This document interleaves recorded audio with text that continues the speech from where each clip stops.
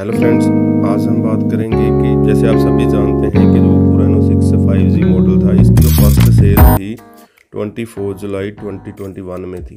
जुलाई से लेकर तो अभी तक जो ओप्पो के द्वारा इसको अपडेट प्रोवाइड की गई हैं, दो अपडेट ओप्पो के द्वारा प्रोवाइड करवाई गई अभी क्या हुआ कि ओप्पो रेनो 6 को जो एंड्रॉयड 12 ओ एस ट्वेल्व के साथ अपडेट देना चाहिए था।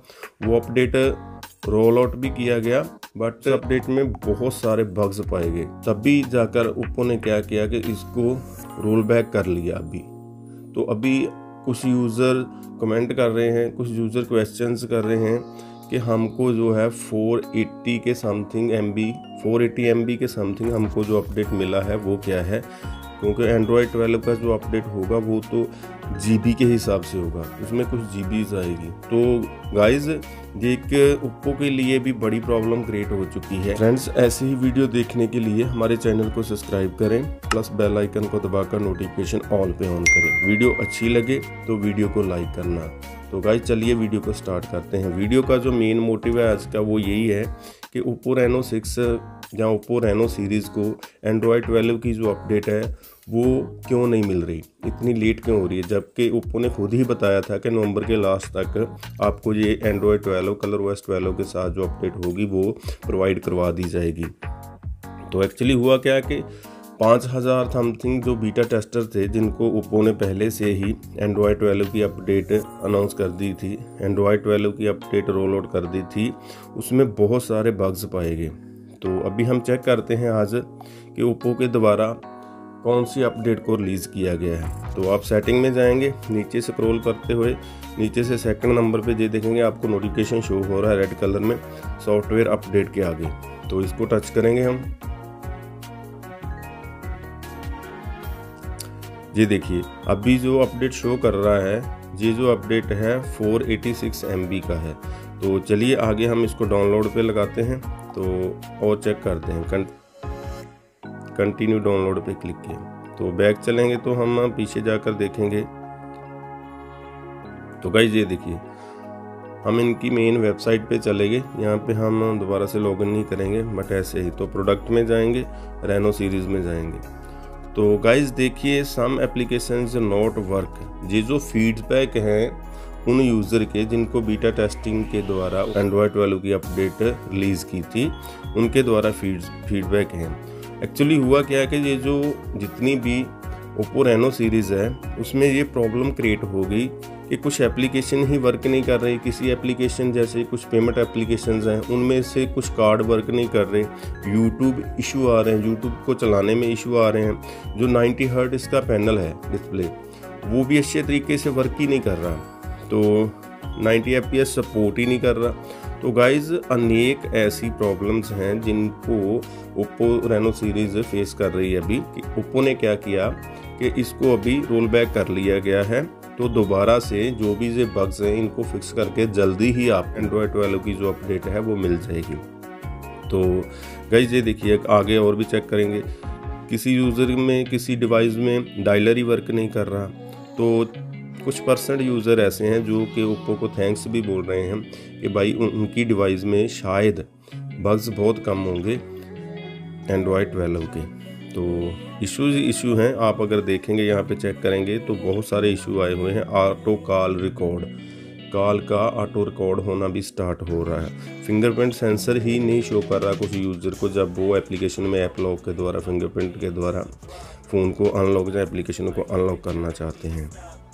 तो बहुत सारे मेजर बग्स हैं, जैसे ब्लूटूथ कनेक्टिविटी में है, और भी काफ़ी सारे ये जो यूज़र का फीडबैक रेनो सीरीज़ के बाबत ओप्पो के, ओप्पो को गया है। ओप्पो ज़रूर उस पर अच्छे से वर्क करेगा और जल्दी ही आप सभी के लिए, ओप्पो रेनो सीरीज़ के लिए एक बग्स को फिक्स करके बढ़िया अपडेट लाने की कोशिश करेगा। तो गाइज़ अभी आपको वेट करना पड़ेगा। अभी ये वाली अपडेट 486 एमबी का जो अपडेट है, इसको इंस्टॉल कीजिए और आगे चेक कीजिए। अभी जो चेक करेंगे आपके ओप्पो फ़ोन्स में dialer connect contact app not workings ये सभी ऐसी प्रॉब्लम्स हैं जो ओप्पो कलर ओएस ट्वेल्व पे आ रही हैं, जिस पे ऑटो कॉलर कोड भी हो रहा है। कॉलर का जो स्विच है ऑटो कॉलर कोड का, वो ऑटो ऑन ऑफ़ हो रहा है। तो ये आपको मालूम है कि गूगल का इसमें कॉलर कोडिंग दिया गया है, जो कि अच्छे तरीके से कलर ओएस ट्वेल्व के साथ मैच ना करके सही वर्क नहीं कर रहा।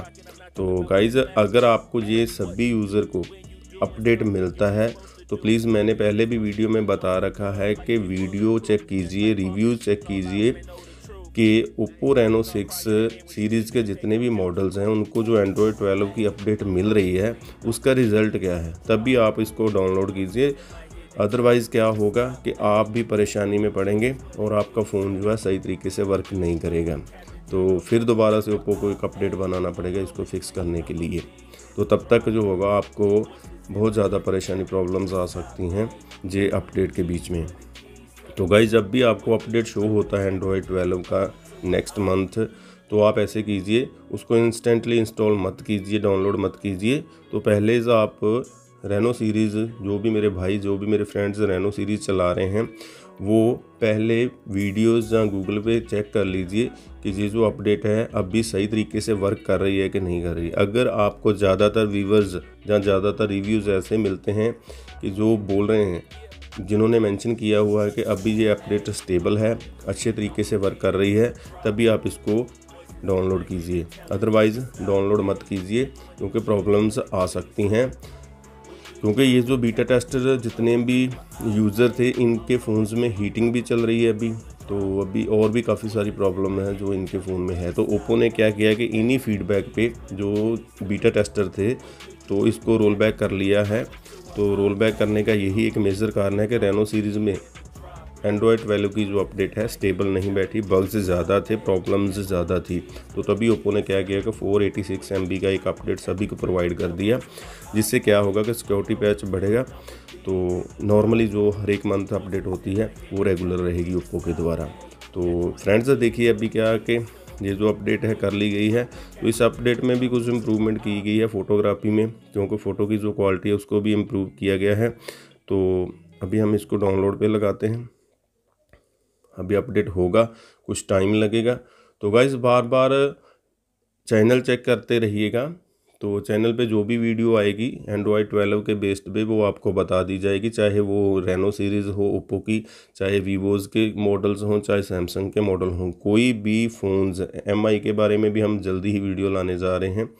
तो सभी फ़ोन्स की जो वीडियो है सॉफ्टवेयर के रिलेटेड आपको इस चैनल पे मिलती ही रहती है तो प्लीज़ चैनल को सब्सक्राइब कीजिएगा बेल आइकन को दबाना मत भूलिएगा। तो फ्रेंड्स और कोई क्वेश्चन हो तो डिस्क्रिप्शन में व्हाट्सएप नंबर रहेगा, आप उस पर भी कॉन्टैक्ट कर सकते हैं। तो कमेंट भी करके आप बता सकते हैं। कमेंट का जो रिप्लाई होगा, वो इंस्टेंट मिलेगा। तो ओके थैंक यू व्यूवर्स